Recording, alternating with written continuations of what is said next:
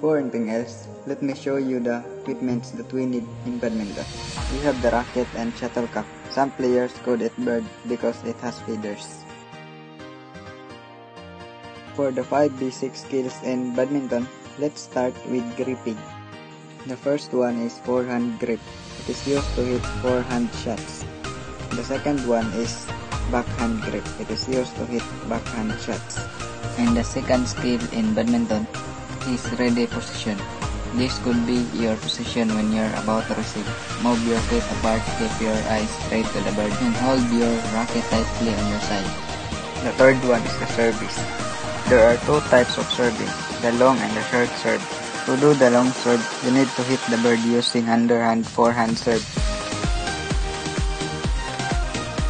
Meanwhile, to do the short serve, you need to hit the bird using overhand backhand stroke.